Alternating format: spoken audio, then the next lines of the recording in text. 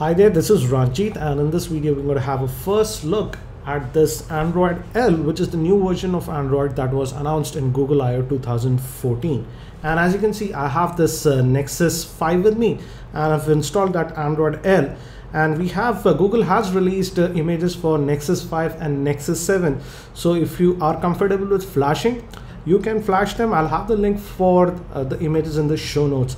And this is the new version of android as you can see uh, from the home screens uh, it looks the color palette is a little bit different. Uh, one thing i did notice is that if you go towards the left like this you don't get google now. Uh, for google now you have to go like this and here you can access. Again you'll notice that the keyboard also has been changed now and this is the new style of keyboard that we get. Also you'll notice that the icons have changed. This is the back this is the home and this will be for the multitasking. And as you can see one more interesting thing is that now for multitasking it has cards like this. So this is the new multitasking and as you can see uh, you can see a lot more things in my opinion uh, using this new multitasking option on this Android L and before that uh, let me also show you one more thing. Again we have that OK Google uh, always listening. So you can just say okay google. It worked but right now it's not working. Uh, so maybe it's a beta release again guys. So understand that. And google also does not recommend that you install this on a working production phone.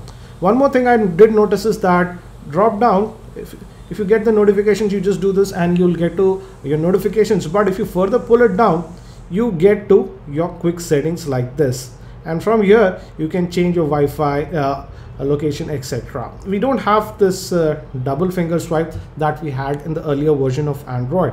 And you can also uh, go to the settings directly from here. As you can see you can adjust the brightness. And if you want to go to the settings this is how you go. And again this has also been changed. Now we have this white background instead of that black background we had on KitKat.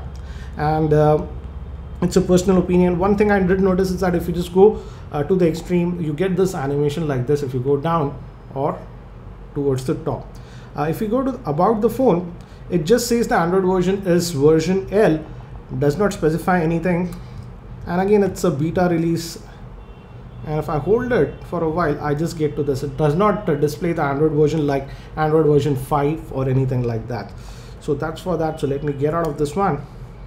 And it's as you can see, this is a beta build. Uh, so let me just get out of this one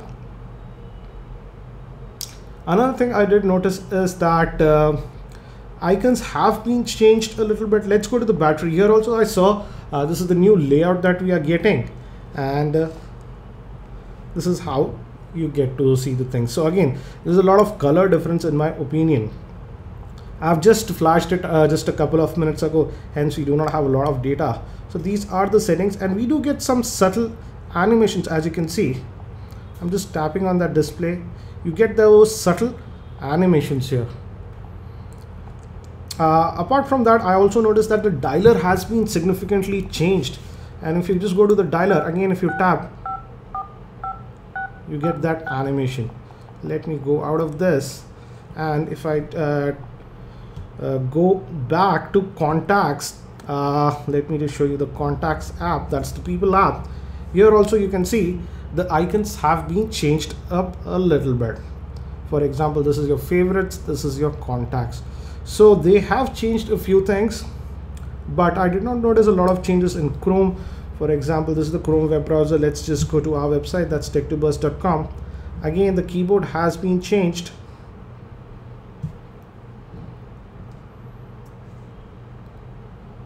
And again as you can see it's loading it perfectly fine uh, I like this new multitasking, I would say. And let's open some new tabs. Uh, Google said that even separate tabs can be accessed uh, from the multitasking. For example, we have two tabs open now.